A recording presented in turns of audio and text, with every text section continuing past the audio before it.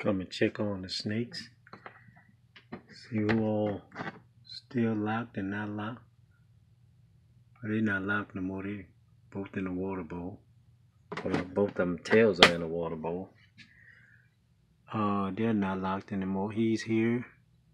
She's in the back. And they're not locked anymore. There's his tail. There's her tail. So I'm going to get this cleaned up, get them in their own separate bins, and see who's going to feed and who's not going to feed. Uh, a little update. I don't know why this water bowl right there.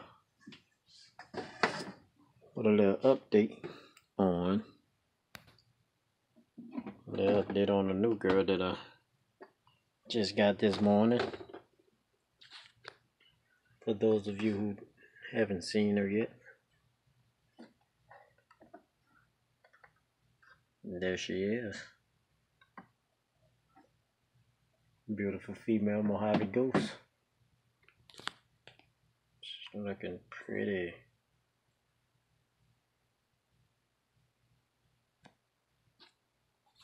Looking pretty, y'all. I can't wait to get some size on this girl. Get her feed. Matter of fact, I can see how many grams she is.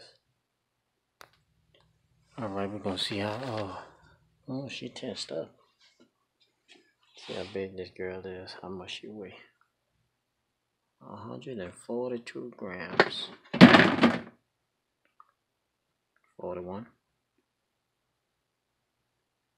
That's pretty cool. All right. That gonna conclude my update video on my pairing and on my new girl right here. For those who haven't seen the unboxing video. Alright y'all, Reese's from Reese's Pythons. Matter of fact, let me see if they came out this skin yet and I can do all that in this video. Hold on. Alright. I had my female banana. She was in shed. She still hasn't come out of skin yet, so I'll spray her down tonight. And hopefully she'll be out tomorrow.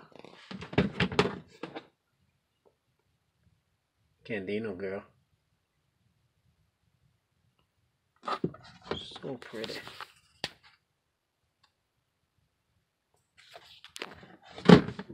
Alright.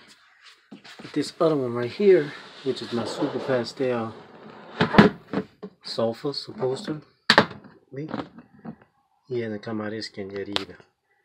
He'll be coming up. They probably come out around the same time. My super pastel sulfur. Uh, no need to spray him down again, but I'm gonna spray her down. Make sure she come out for perfect shade. I got this boy going into shade.